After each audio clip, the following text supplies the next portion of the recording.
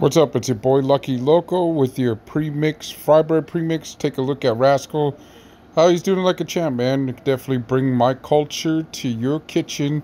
Go ahead and hit me up at abnativeamerican at gmail.com to place your orders. Let me know.